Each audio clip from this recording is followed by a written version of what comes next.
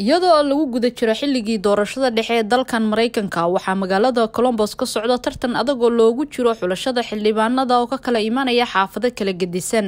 Maxamuud jaamac oo ah wiil soomaaliyeed ayaa u tartamaya xaafada shan iyo labaatan oo ka mid ah xaafadaha ay soomaalida badan ku nool yihiin. Maxamuud waxa uu ka tirsan yahay golaha guddiga fulinta ee franklin county. Maxamuud oo la hadlayay s n t v xili uu ku sugnaa xarunta codobixinta ee franklin county oo aan maanta booqanay ayaa sheegay in sanadkan ay qabaan rajo wanaagsan iyada oo qowmiyadaha kale iyo soomaaliduba si weyn ugu soo baxeen codkoodana ay siiyeen iyo weliba inay ka warsugayaan in weli la soo baxo.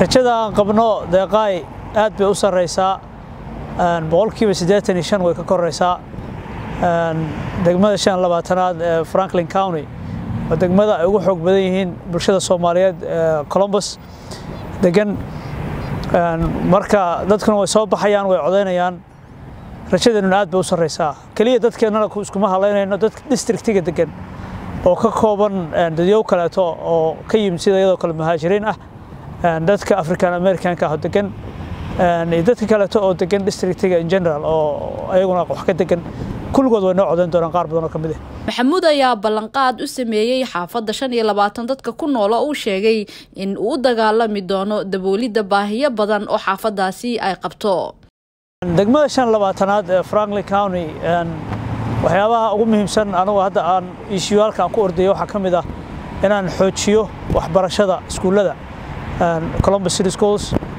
inaan xoojiyo horumarinta businesska small businesska iyo inaan xoojiyo helitaanka inuu heli karaa qof walba caafimaad uu isticmaalo caafimaadka uu ku aadi karo. Marka saddexdaas issue baa tob ii ah arrimo kaleetoo badan oo nabadgelyadu ay ka mid tahay way jiraan housingka way ka mid yihiin. Waxa uu jaamac ka codsaday dadka ku nool xaafadda shan iyo labaatan inay soo baxaan kana faa'iidaystaan fursadda codobixinta gaar ahaan soomaalida iyo weliba inay qoraan taariikh cusub agaasimaha ololaha doorashada ee maxamuud jaamac ayaa sheegay in dad badan ay soo baxeen codkoodana ay dhiibteen kuwo kalena ay ka warsugayaan waxa uu ka codsaday in la yimaado goobaha codbixinta gaar ahaana goobta early votinka waxa loo yaqaano ama xili hore codaynta oo ku taala waddada morris road Hello everyone. My name is Kyle Parker. I am the campaign ololaha tartanka doorasho ee maxamuud jaamac howluhu meel wanaagsan ayay noo marayaan ilaa iyo talaadadii la soo dhaafay waxaa soo baxay dad fara badan balse weli waxaan ka codsanaynaa in si wanaagsan loo soo baxo loogana qayb qaato codaynta lana yimaado xarunta codbixinta ee ku taalla waddada morris road jason waa agaasimaha ololaha doorashada ee bernin sanders waxa uu xusay in la soo gaaray xilligii soomaalida ohaayo ay ka muuqan lahaayeen siyaasadda gobolka My name is Jason Edwards, J A S O N E D W A R D S. Uh, I'm here today to fight for uh, to make history in Ohio so that the Somali people get a voice. Magacaygu waa jason. Waxaan maanta halkan u joogaa inaan ka qayb qaato taariikha in jaaliyadda soomaalidu ay codkooda ku yeeshaan howlaha xisbiga dimuquraadiga ee ohio. Waxaan si xordhaca u dhiibtay codkayga oo aniga iyo dad fara badan oo ila mid ah aan ku taageerayno musharax madaxweyne bernie sanders iyo wakiilkeenna maxamuud jaamac. Qaar ka mid a soomaalidii codkooda dhiibanaya maanta oo aan kula kulmay goobta codobixinta ayaa waxaan isku soo duway codadkoodii waxayna u dhacayaan sida anaga waan joognaa iyadoo dhaxan tahay oo roob da'ayo waad ogeydeen inankeenii hore food yar ayaa looga badiyey marka ceeb bay inoo tahay mar labaad in food yar oo tiro yar ah uu maad aragtay uu inankeennu u hadho haddaynu nahay reer colombos ohio especially reer west especially xaafadda shan labaatanaad dadka degan sidaa og tahay waxaan u baahannahay qofna ma talo. Haddaan saan ku helnayn qofna ma talo asaga ayaana matalaayo fadlan soo baxa u codeeya halkan maanta waxaan u imaanay inaan u codeyno walaalkeen maxamuud jaamac waxaan idin leeyahay ummadda guriga fadhido hala soo baxo. Wiilka walaalkiin idinkaga baahan codka u codeeya. Doorashadan way ka duwan tahay. Doorashadii hore waxay uga duwan tahay.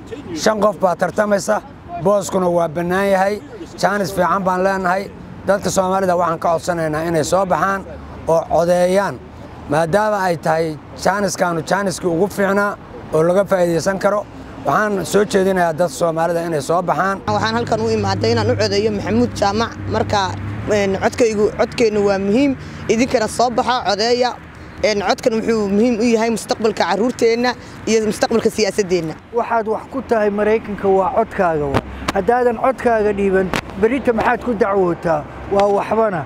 Maanta waa baawarkaaga waa codkaaga waa codkaaga waa inaad isku xoraysaa maanta waxaan joognaa meesha lagu codeynayay anigii saaxiibkay dirios marka soomaalida waxaan ka codsanayaa inay ninkan soomaaliga u codeeyaan insha allah isku soo wada duuba gobolka ohio oo ah gobolka labaad ee soomaalida ugu badan ay ku nool yihiin.